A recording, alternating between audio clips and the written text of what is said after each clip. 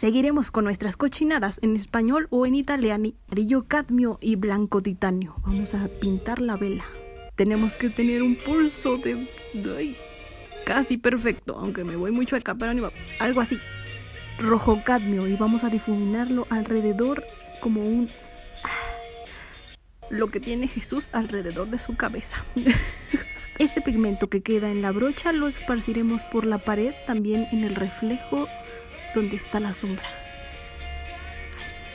Despacio. Muy bien, lo esparcimos más aún más y difuminamos. Rojo cadmio más intenso y pinceladas también con amarillo. Amarillo cadmio. Y después haremos una tenue y ligera capa de blanco titanio por aquí. Pero también algo cargada de luz.